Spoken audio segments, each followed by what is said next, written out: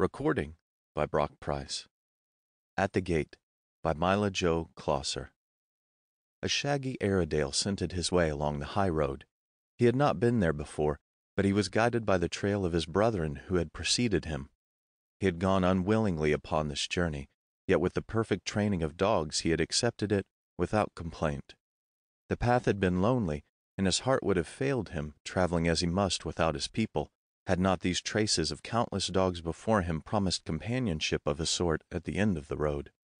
The landscape had appeared arid at first, for the translation from recent agony into freedom from pain had been so numbing in its swiftness that it was some time before he could fully appreciate the pleasant dog country through which he was passing.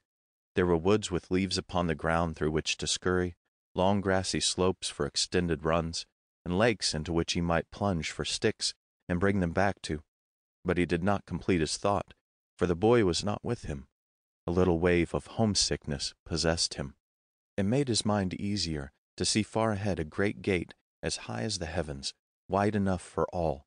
He understood that man only built such barriers, and by straining his eyes he fancied he could discern humans passing through to whatever lay beyond. He broke into a run that he might the more quickly gain this enclosure made beautiful by men and women, but his thoughts outran his pace, and he remembered that he had left the family behind. And again this lovely new compound became not perfect, since it would lack the family. The scent of the dogs grew very strong now, and coming nearer, he discovered to his astonishment that of the myriads of those who had arrived ahead of him, thousands were still gathered on the outside of the portal.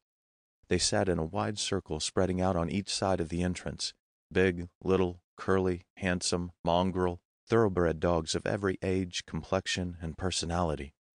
All were apparently waiting for something, someone, and at the pad of the Airedale's feet on the hard road, they arose and looked in his direction.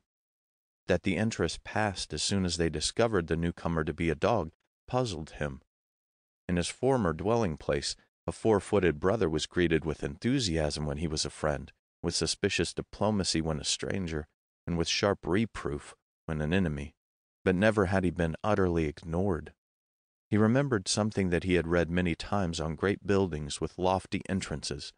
Dogs not admitted, the signs had said, and he feared this might be the reason for the waiting circle outside the gate. It might be that this noble portal stood as the dividing line between mere dogs and humans. But he had been a member of the family, romping with them in the living room, sitting at meals with them in the dining room, going upstairs at night with them, and the thought that he was to be kept out would be unendurable. He despised the passive dogs. They should be treating a barrier after the fashion of their old country, leaping against it, barking and scratching the nicely painted door. He bounded up the last little hill to set them an example, for he was still full of the rebellion of the world, but he found no door to leap against. He could see beyond the entrance dear masses of people, yet no dog crossed the threshold. They continued in their patient ring, their gaze upon the winding road. He now advanced cautiously to examine the gate. It occurred to him that it must be fly time in this region, and he did not wish to make himself ridiculous before all these strangers by trying to bolt through an invisible mesh like the one that had baffled him when he was a little chap. Yet there were no screens, and despair entered his soul. What bitter punishment these poor beasts must have suffered before they learned to stay on this side the arch that led to human beings. What had they done on earth to merit this? Stolen bones troubled his conscience, runaway days, sleeping in the best chair until the key clicked in the lock. These were sins. At that moment, an English bull terrier, white, with liver colored spots and a jaunty manner, approached him, snuffling in a friendly way. No sooner had the bull terrier smelt his collar than he fell to expressing his joy at meeting him. The Airedale's reserve was quite thawed by this welcome, though he did not know just what to make of it. I know you. I know you, exclaimed the bull terrier, adding inconsequently, What's your name? Tam O'Shanter. They call me Tammy, was the answer, with a pardonable break in the voice. I know them, said the bull terrier. Nice folks. Best ever, said the Airedale, trying to be nonchalant, and scratching a flea which was not there. I don't remember you. When did you know them? About fourteen tags ago, when they were first married. We keep track of time here by the license tags. I had four. This is my first and only one. You were before my time, I guess. He felt young and shy. Come for a walk and tell me all about them, was his new friend's invitation. Aren't we allowed in there? asked Tam, looking toward the gate. Sure, you can go in whenever you want to. Some of us do it first, but we don't stay. Like it better outside? No, no, it isn't that. Then why are all you fellows hanging around here? Any old dog can see it's better beyond the arch. You see, we're waiting for our folks to come. The Airedale grasped it at once and nodded understandingly. I felt that way when I came along the road. It wouldn't be what it's supposed to be without them. It wouldn't be the perfect place. Not to us, said the bull terrier. Fine. I've stolen bones, but it must be that I have been forgiven if I'm to see them here again. It's the great good place, all right. But look here, he added as a new thought struck him. Do they wait for us? The older inhabitant coughed in slight embarrassment. The humans couldn't do that very well. It wouldn't be the thing to have them hang around outside for just a dog. Not dignified. Quite right, agreed Tam. I'm glad they go straight to their mansions. I'd, I'd hate to have them missing me as I am missing them, he sighed. But then, they wouldn't have to wait so long. Oh, well, they're getting on. Don't be discouraged, comforted the terrier. And in the meantime, it's like a big hotel in summer, watching the new arrivals. See, there is something doing now. All the dogs were aroused to excitement by a little figure making its way uncertainly up the last slope. Half of them started to meet it, crowding about in a loving, eager pack. Look out, don't scare it, cautioned the older animals, while word was passed to those farthest from the gate. Quick, quick, a baby's come. Before they had entirely assembled, however, a gaunt yellow hound pushed through the crowd, gave one sniff at the small child, and with a yelp of joy crouched at its feet.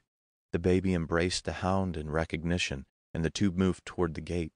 Just outside, the hound stopped to speak to an aristocratic St. Bernard who had been friendly.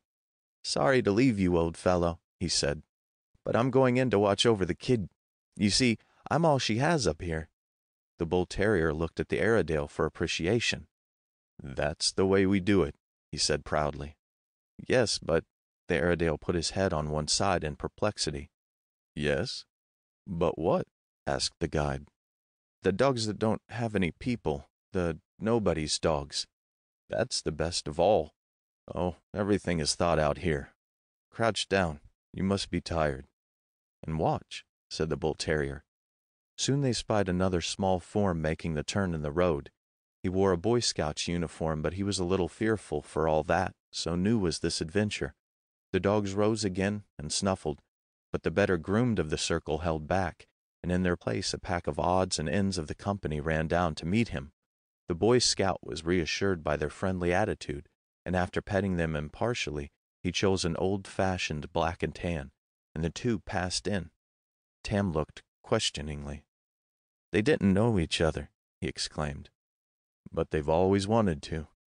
That's one of the boys who used to beg for a dog, but his father wouldn't let him have one.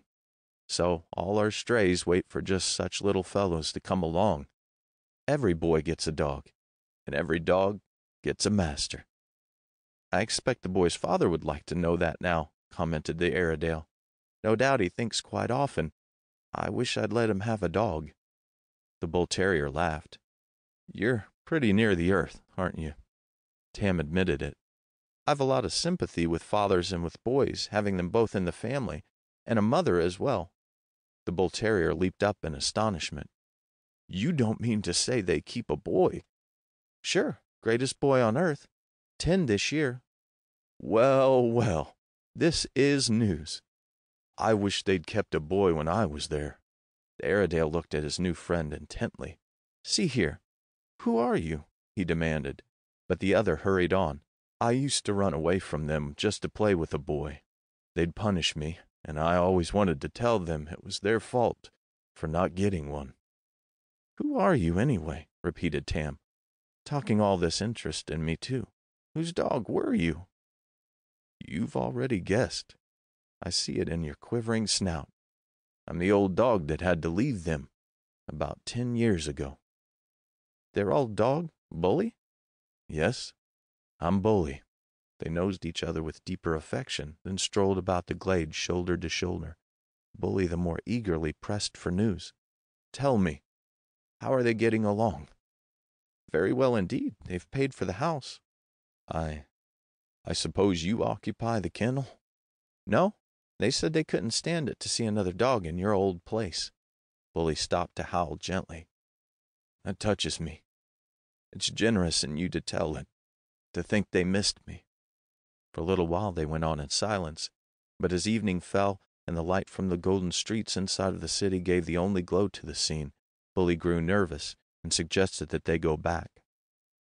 We can't see so well at night, and I like to be pretty close to the path, especially toward morning. Tam assented. And I will point them out. You might not know them just at first. Oh, we know them. Sometimes the babies have so grown up they're rather hazy in their recollection of how we look. They think we're bigger than we are. But you can't fool us dogs. It's understood, Tam cunningly arranged. that when he or she arrives, you'll sort of make them feel at home while I wait for the boy? That's the plan, assented Bully kindly and if by any chance the little fellow should come first, there's been a lot of them this summer. Of course, you'll introduce me? I shall be proud to do it. And so, with muzzles sunk between their paws, and with their eyes straining down the pilgrim's road, they wait outside the gate. End of At the Gate by Myla Jo Closser.